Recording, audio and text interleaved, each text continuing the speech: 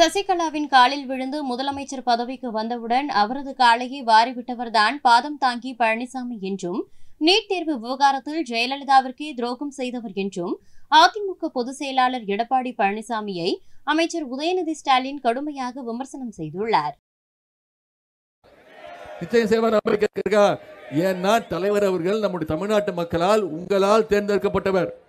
அவர் எப்படி முதலமைச்சரானார்? ரெண்டாயிரத்தி இருபத்தி ஒன்றில் நம்முடைய கழக தலைவர் எப்படி முதலமைச்சரானாரு?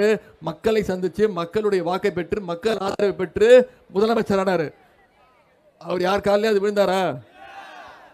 தவழ்ந்து தவழ்ந்து இங்கே போனாரா? அப்படி முதலமைச்சரானவர் யாரு? பார்த்துருக்கீங்களம்மா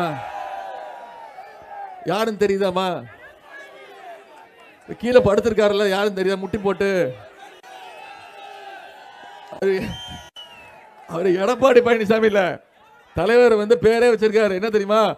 பாதம் தாங்கி பழனிசாமி. இப்படித்தாமா அவர் முதலமைச்சர் ஆனாரு. மக்களால் தேர்ந்தெடுக்கப்படல.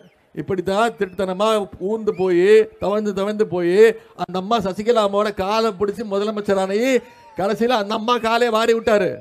ஏன் இருக்கா? அந்த அம்மாக்கே துரோகம் பண்ணாரு. என்ன தெரியுமா சொன்னாரு? முதலமைச்சர் ஆனோடனே அந்த அம்மா ஜெயிலுக்கு போயிட்டாங்க. ஜெயிலுக்கு போன என்ன தெரியுமா சொன்னாரு? யார் இந்த சசிகலா?